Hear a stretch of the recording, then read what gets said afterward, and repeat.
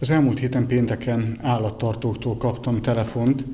Bodogláron volt egy megbeszélésük, és egy sor problémát jeleztek, amelyben az önkormányzat segítségét kérték.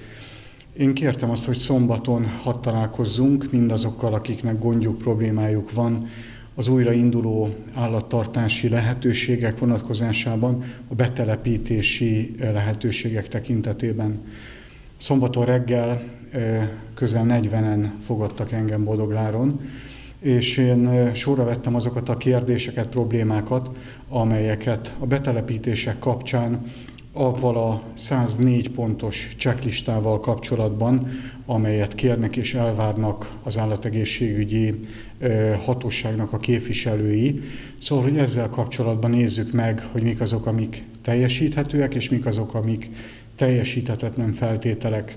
Azt láttuk és tapasztaltuk, hogy azok az előírások, amelyek megfogalmazódnak és ebben a bizonyos bizonyítóerőjű magánokiratban feltüntetése kerülnek, nem feltétlenül új elemek, hiszen 2008 óta a trágyatárolási kötelezettség az az állattartók esetében kötelező, és 2015 óta azok a feltételek, amelyeket a, az országos főállatorvos meghatározott a tartási technológia, a tartási körülmények vonatkozásában, azok sem új előírások.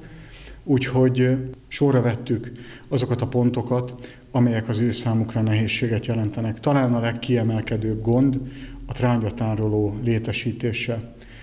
A fertőzéssel érintett területeken, így Bács megye 80%-ában, Csongrád megye és Békés megye tekintetében is, az országos tisztifőorvos előírta a trágyatároló építésének kötelezettségét, mégpedig olyan betonozott tároló építését, amely egy turnusnyi állat trágyájának a befogadására kell, hogy alkalmas legyen, és ott 42 napig tárolási kötelezettség, abban az esetben, hogyha havária történne, hogyha még egyszer madárinfluenza törne ki, akkor az adott telepen belül ez a trágya, ez raktározható, tárolható legyen. Ezt a kötelezettséget 30 napon belül kell teljesíteni a, az engedély kiadását követően.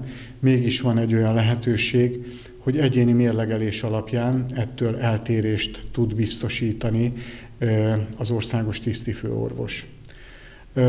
A másik ilyen fontos kérdés volt a kerékmosóban lévő, illetve a mosónak a leengedő tartályában lévő fertőtlenítőszernek a megsemmisítése, ártalmatlanítása. Ezt is megválaszolta a megyei tisztifőorvos úr, és leírta azt, hogy ezt a folyadékot a trágyára rá lehet önteni abban az esetben, hogyha a tisztítószernek a biztonsági adatlapján lévő határidő már eltelt. Úgyhogy egy sor olyan kérdés vetődött még föl, amely az állattartásnak a körülményeit vette sorba. Betonozott ól kötelező-e vagy sem, nem kötelező, de a fertőtlenítése viszont egy-egy állatállomány kivitele után kötelező, mégpedig olyan mennyiségű és olyan mértékű fertőtlenítése, amely 10 centi vonatkozásában a talajt teljes mértékben tudja fertőtleníteni. Az is kérdésként vetődött föl, hogy rassel hálót rakjanak-e az óra, vagy éppen szúnyoghálót a Russell háló az megfelelő, de olyan madárháló is megfelelő, amely adott esetben a kisebb madaraknak a berepülését meg tudja akadályozni. Tehát egy sor olyan állattartással kapcsolatban fölmerült praktikus kérdés, amelyet az állattartók kérdésként tettek föl. Mi a mai nap folyamán igyekszünk ezt megválaszolni, és erről tájékoztattam a térség polgármestereit is, hogy tudjanak azonos válaszokat megfogalmazni, hogy tudjunk azonos tájékoztatást adni a térség állattartói számára.